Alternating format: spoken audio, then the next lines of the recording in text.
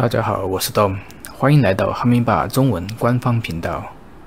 以下是我们的免责声明：此演示仅用于教学和教育目的，使用的任何参数仅用于演示。我们的内容不构成任何金融、财务或投资建议。每个用户都要对自己使用和配置哈密巴以及参与流动性挖矿负责。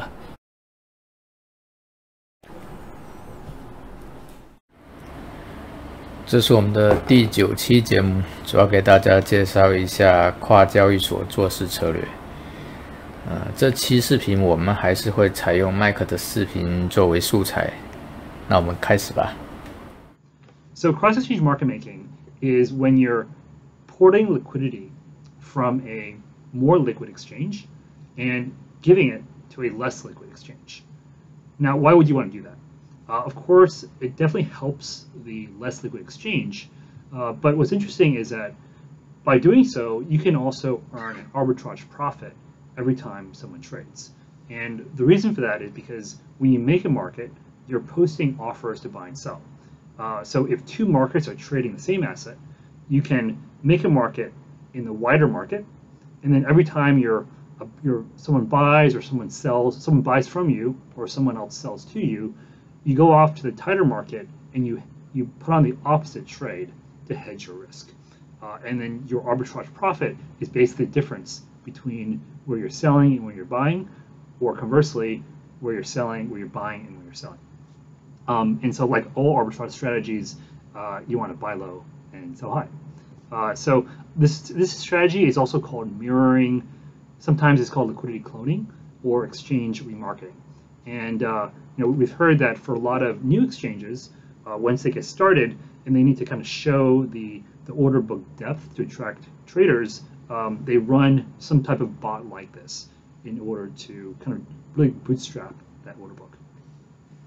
So let's walk through how it works using a chart, and then we'll look at what it looks like live. So um, let's take two exchanges. Uh, let's say that one of them uh, perhaps um, uh, DDEX is a decentralized exchange. So as you may know, decentralized exchanges have less liquidity than centralized exchanges.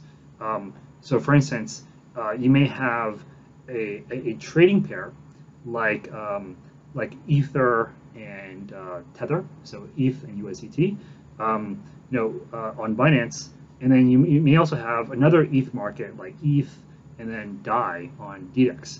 And so the ETH DAI market is typically much wider than the ETH and USDT market on Binance. Now, um, so if the same asset is trading on both sides, you can basically do cross-exchange market making. And so the way that works is that um, let's imagine that uh, on DDEX, um, there's some trading pair, and right now it's a pretty wide gap between the lowest buy offers and the, highest sell offers. So um, in this kind of like uh, contrived example, there's a um, the, the, the lowest sell offers in DDEX are at 104, the highest buy offers are at 96. On Binance, um, it's a much tighter market. Uh, here, the, the, asset is uh, the buy offers are at 99, the sell offers are at 101. So in this case, this is a prime example where cross-exchange market making might be a good strategy. So let's see how it works. So the first thing you do is you go into DDEX and you, you make two uh, offers, one a buy, another a sell. So here, uh, because you know, you, know, you can make them uh, better than the existing market today. So if you place buy offers at 98 and sell offers at 102, all things being equal, when another trader comes onto this market and they buy or sell, they'll probably buy from you because you have the best orders on the book. So let's say that happens. Um, some order, a trader comes along and fills your $98 buy order. At that point, you can go over to Binance and then and then do a market order, and in other words, take um, the the best order on the same side of the book. So in this case, um, because when someone filled your buy order, you sold to that person on DDEX. So in Binance, um, you want to, I'm sorry, so, so you, you bought from the person on DDEX, so therefore on Binance, you want to sell at a higher price. So if you, um, you know, take this offer here, you've effectively sold the asset at 99. therefore, your arbitrage profit is simply the difference between where you've bought and where you've sold. Um, and so this is basically cross-exchange market making in a nutshell. Uh, you're making a market on a less liquid market, and anytime you're filled, you go off to a more liquid market and you hedge your risk. And if you have a have a bot that can adjust the prices at which you're making markets, and then when you get filled, the bot automatically goes and hedges your risk on a taker exchange. Um, this can be quite a quite a you know it's a relatively safe strategy, and the one that uh, you know you can profit uh, still profit from.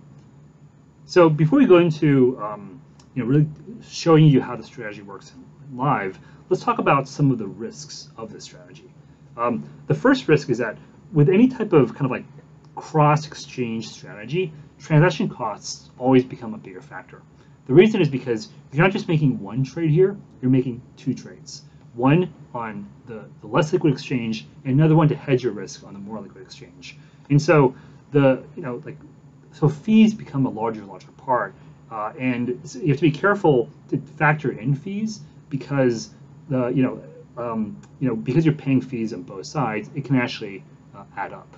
So in our strategies, we we make sure that when you say you want to make a profit of, you know, like something like 0.1%, um, uh, we try to look at the fees in every market to make sure that the expected profit is, you know, 0.1% net of fees.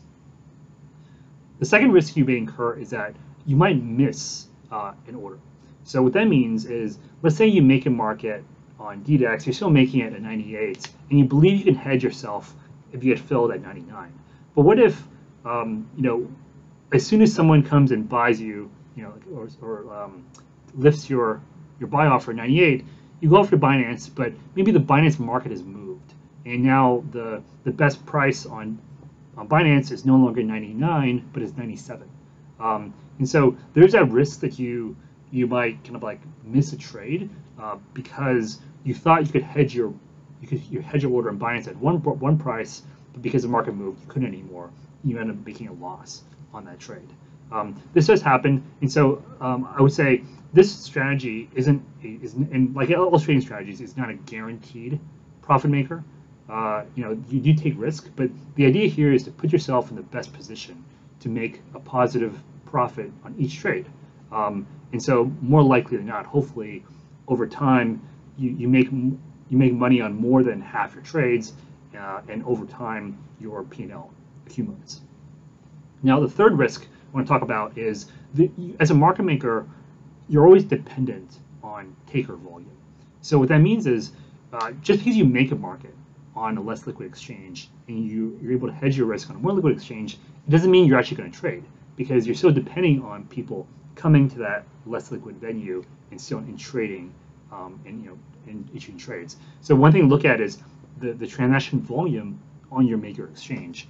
If a, if a market doesn't trade at all, um, you know you might you might be the best offers on the market, but you still might never actually do a trade and, and make money.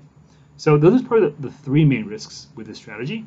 So now let's um, take a look at how you can do this in